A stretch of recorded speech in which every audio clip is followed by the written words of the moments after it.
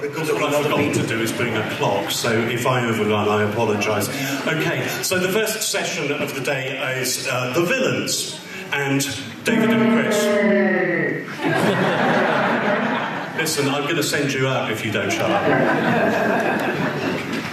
Honestly, you can't take him anywhere. Um, yeah, so the first session of the day is the villains, and two totally non villainous people talking to us about being villains. So, what we normally do with this um, is I'll just ask a couple of introductory questions, but I don't want to hog it. So, we'll then open things out to, to the audience.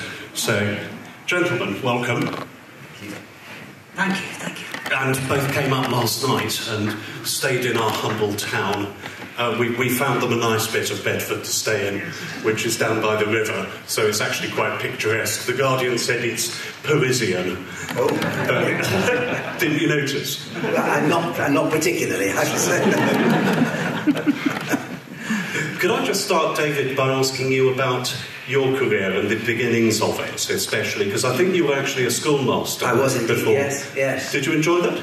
I did indeed, yes, I did. Um, I was a schoolmaster. I'd been in Ca- Cambridge, in, in footlights in Cambridge, and I wasn't quite sure whether I wanted to join this business or not. I mean, I, I just thought I've always loved teaching, and teaching I still do it actually. And, and, and so I started briefly as a schoolmaster, but but sort of soon discovered that this this bug, whatever insanity, something not in my family but definitely in my blood, was there, and I must either deal with it once and forever to get rid of it. So I'll go into the business, and I sort of haven't quite got rid of it yet. So I'm still so I'm still working on it. And then I became an actor and a director at Salisbury Playhouse, um, and then you know. Um, yeah, and, yeah, don't want to go on and on and on. Well, then, but then basically how I got to Doctor Who, was the route to Doctor Who was quite simple, was because I then got into radio, um, which I did uh, hundreds of broadcasts as a young man, um, and that led um, Ken Grieve to ask me to be Davros because he thought it was a radio part. So he looked for somebody when Michael Wisher couldn't do it.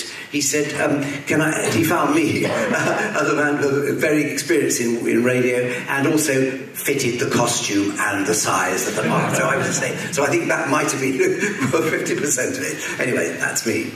Something I was going to say at the beginning was that I, I have met David before, but it was 40 years ago when I was a sixth former, and David was appearing as in Time the Conways, it was, at the Connaught Theatre in Worthing, and he very kindly agreed to be interviewed by two uh, geeky fanboys, age 17. So I reminded you of that last Yes. night. Yeah, amazing. Yeah. And if you ever wondered what happened to Davros's hand, 40 years ago David donated it and we raffled it. So that's what happened to it. I've no idea who's got it now, but that's what happened. Well, Chris, David mentioned um, the acting bug. I mean, was that something you've always had? Uh, yeah, I, I think so. It was at um, school. I went to so many different schools as a child, moved around a hell of a lot one reason or another. And uh, it was it was then, it was at school really, it started, yeah.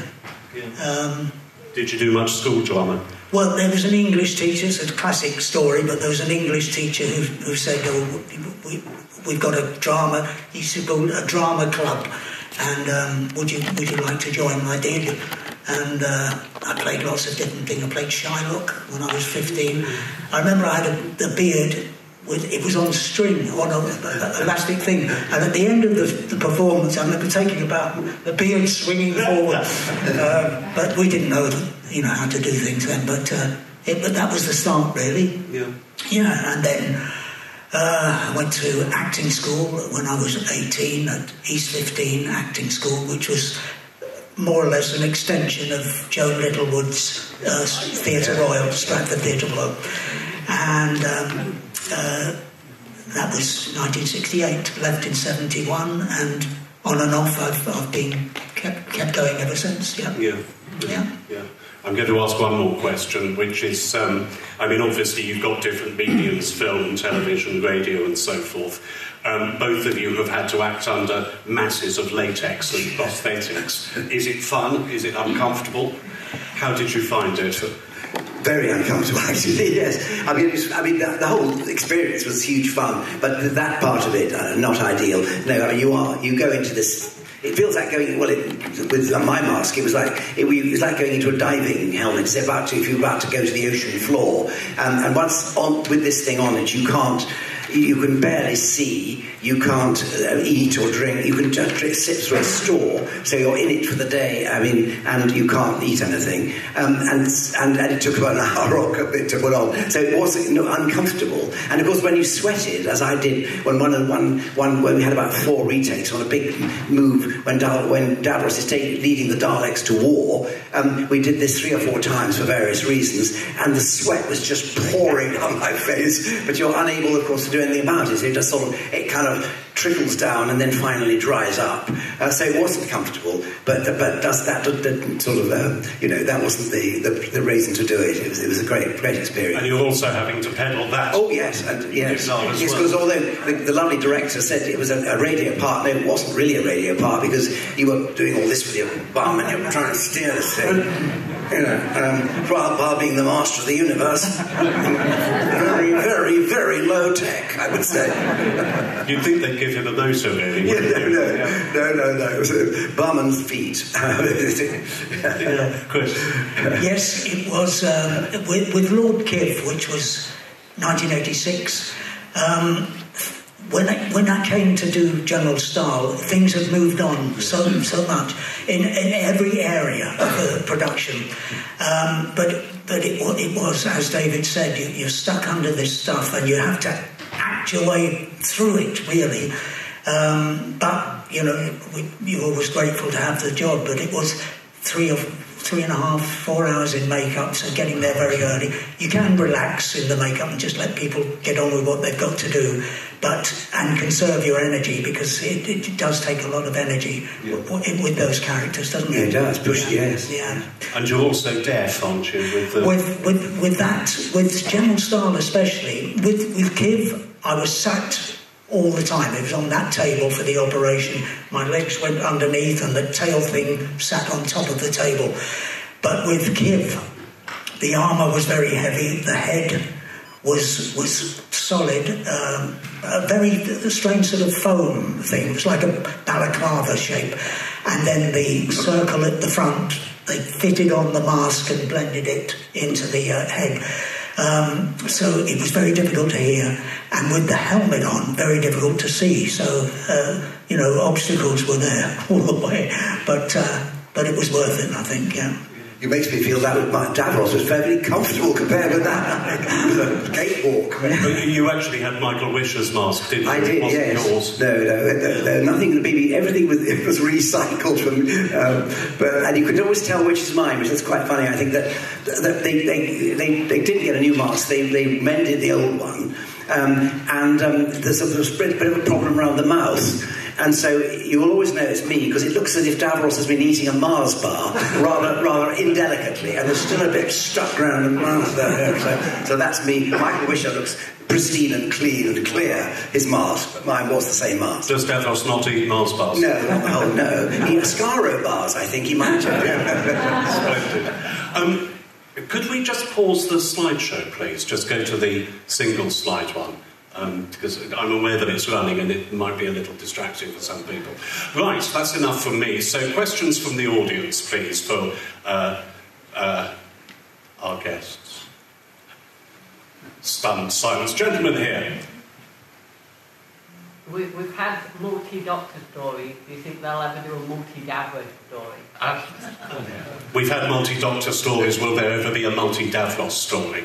Well, I hope. I hope. That would be lovely. It'd be great fun. I mean, we meet together on these conventions and things, and that's fun. And it'd be even more fun to meet actually on set somewhere. So I don't know. I, I doubt it, but you never know. No rivalry between the Davroses.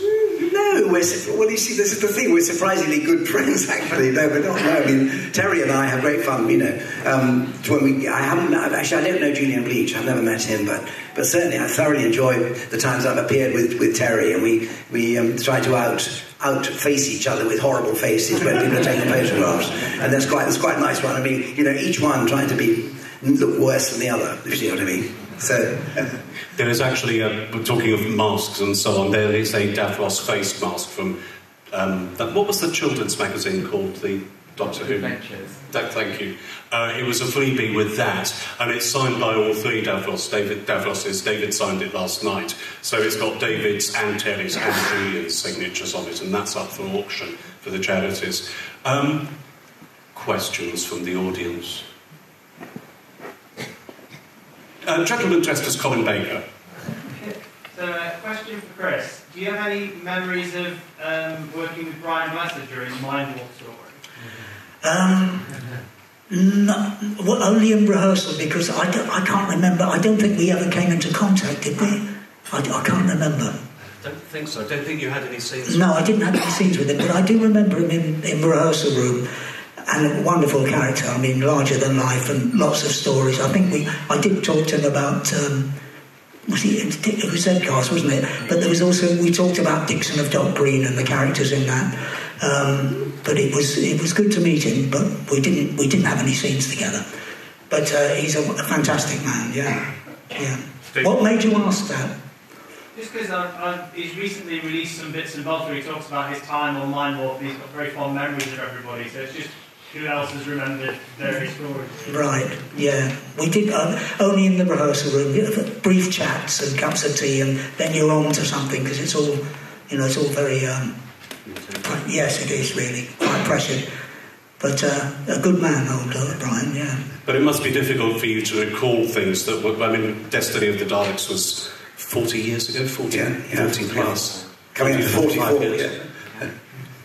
Yeah. No, no, it's just, I mean, no, sometimes you, you have to read, there are bits of people have written things, fortunately, and so you have to remember, ah, they're reminding you of what you actually did. But um, it was a very vivid memory for me. I mean, it was a lovely, a very, very happy experience. Um, loved working with Tom and so on, and, and Tom and Lalla were rather in good, rather good form at that time. And um, as I say, I think I mentioned a superb director, Ken Grieve, who sadly is no longer with us, but I mean, a brilliant director. And a lovely company, the whole lot. Yes, yes. And we just, I mean, we had the luxury, which I don't think happens, I don't know if it happens, we had the luxury of rehearsal.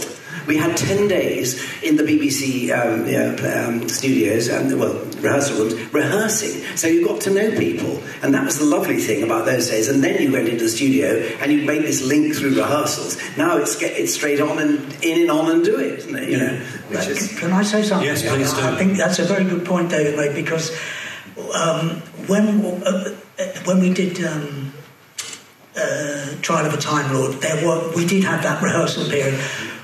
When I did the General Staal, and that was all it was on film really, I suppose most of it.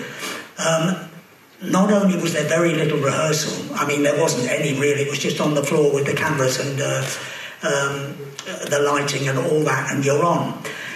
And that's tough enough, and all the gear and everything like But the, the other thing, and this is an, an actor's, uh, the, the nature of the job, I hadn't worked for about two years before I got that job. And so th- there was all that, the nerves of not having worked and, and can I still do it and all the rest of it and aware that people were sort of watching. Uh, so, and very, very little rehearsal.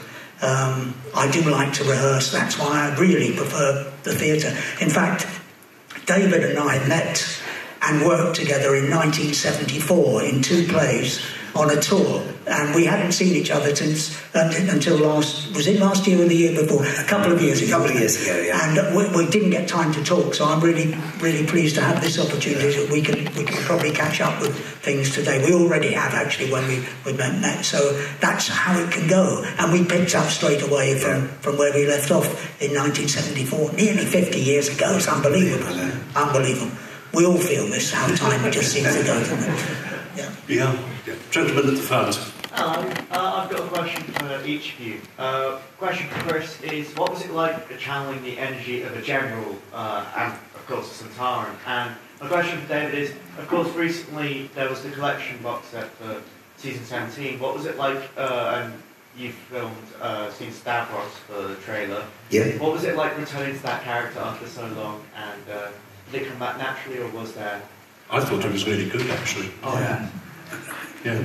Well, I, I, I, no, I hugely enjoyed it actually, and, and it was lovely to redo it. I mean, to, and I, I, I thought, crikey, because I, I, I, think my, my voice is better than it was in 1979. Uh, and I've done a lot of work on it, and I think it's had deeper tones, and, and I felt actually it was quite good. I mean, I enjoyed doing it, put it like that. I really did, and it, it was lovely to read it. The answer is yes, it was terrific to revisit it. Yeah. Have we all seen the trailer David did for the convention? Okay, have a look at the website or the Facebook page because David very kindly did us a lovely trailer in character for Bedford Who Charity Con, and it's, it's marvellous. You've got to see it. Following on from the, the previous um, answer I gave, or the, the, what I said about the um, coming into something again after a long time, also the, the, the pace of the, that, that new launched uh, Doctor Who was, was it was like it really was like a, a rolling train. Uh, and I just had to take from the script the character, find what I could, use whatever energy I could muster uh, with the nerves and, the, and, and, concentrate and just do the best best I can, really. Um, he was he was a strong old character, old General Staal, um, and uh, they're, quite a race, old Sontarans. Yeah, yeah. So it was a, it was a good experience, and it took me to another another level with the, the energy for and fighting through the makeup and the costume and all that, which was all very very heavy. Do you remember how you decided? Sorry, do you remember how you decided on the voice?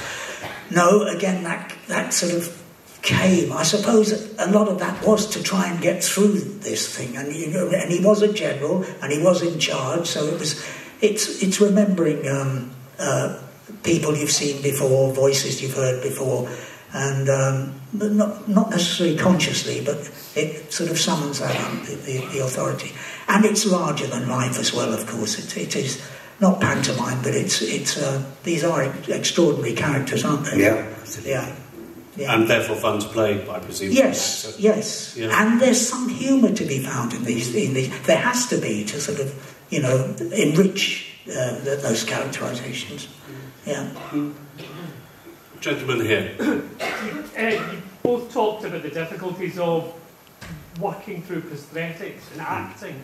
Can you just give us a bit more, a bit more story about how you deliver that? Especially David, that must be strange in rehearsals when you're trying to put this really OTT performance because you know you're going to have to work through prosthetics, and everybody else is just working at a normal level?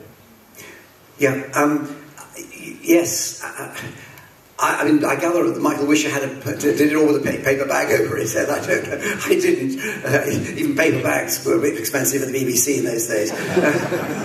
They certainly couldn't afford them now. Um, but, um, but no, I, well, I, I, I sort of use the rehearsal time because, as Chris was saying, we want to relate to each other, and and it's it's a it's. I mean, although you're working through this latex, I just so I didn't push the volume in rehearsals. I tried to get the, the Michael Wisher voice. I tried to do the, get it right, but that was you know playing off Tom and and particularly. Um, and then when when I got into the studio, it was it was suddenly a bit of a shock because you had the latex on, and what you'd been doing quite naturally had to be done by times ten, um, and you just have to give it more energy um, and use, as I say, the nerves and the, and the adrenaline to push it through. I mean, any mask wearing on stage requires a lot of extra energy, vocal energy, and sort of internal energy. And, and you just, on the day when you're in there, you do it. So, so um, yeah. I hope that answers your question. Marvellous. Lady here. I was wondering if either of you had a favourite Doctor Who story to watch. Favourite Doctor Who story to watch? Um, Destiny of the Daleks. Uh, yes, Destiny of the Daleks. I, I do, do, recommend it. Yeah, Blu-ray now, and yeah, there we go.